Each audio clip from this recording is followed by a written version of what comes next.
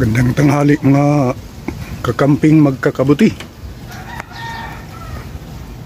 Break time muna tayo.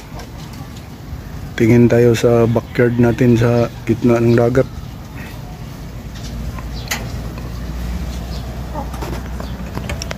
Ito.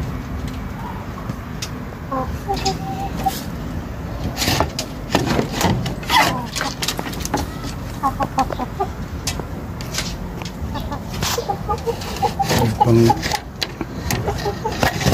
pang ulam. Break muna tayo sa kabuti. Dito muna tayo sa ating backyard na sa gitna ng dagat. Ito. Ito yung ampalaya.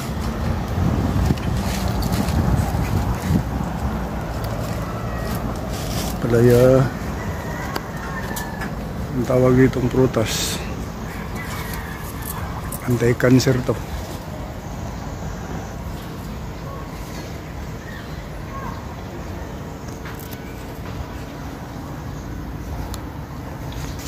May mga bunga sa ilalim Ayan. Naghalo na yung ampalaya sa kamatis.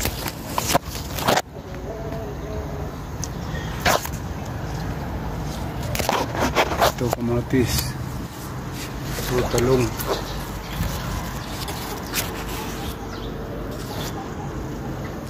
Siling labuyo. Ito siling labuyo.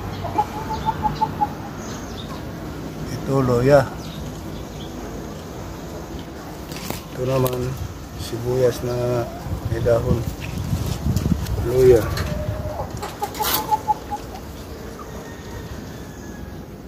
Munting kamuti.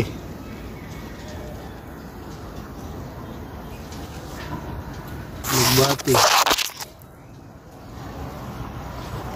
Ito may gabi.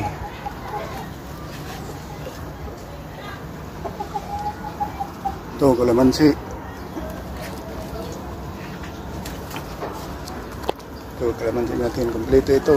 Pag gumamit kayo ng kalamansi, siyempre haluan mo ng sili. Ayan. Sili, manghang.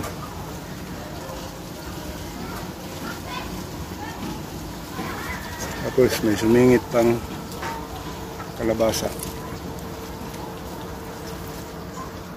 Ito mga kam kakam kakampi. Sinong nakakilala dito ng tanim na ito?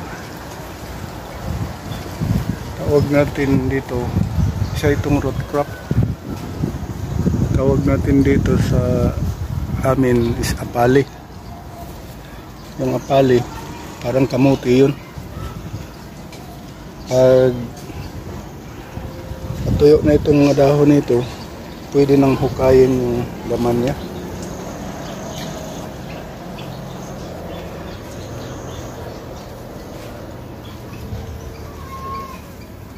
Mga alugbati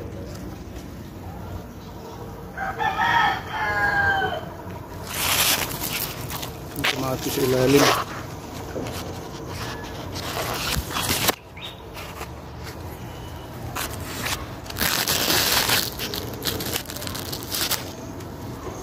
dito na dito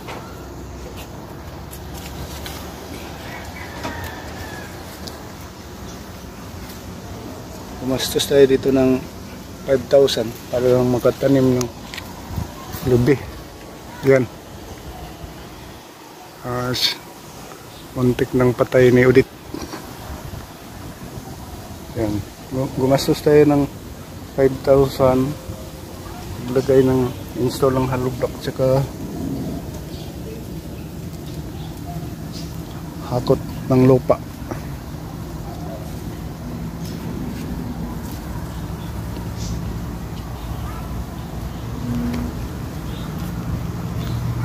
Ito malunggay naipit naipit sa sobrang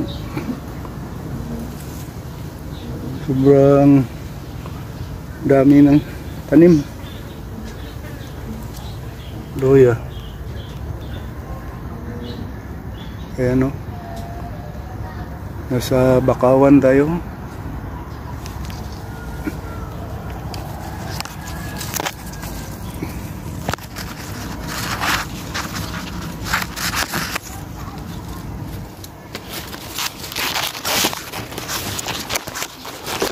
Yung lemongrass natin oh, hindi na nakatubo. Dahil sa siksikan ng tanim.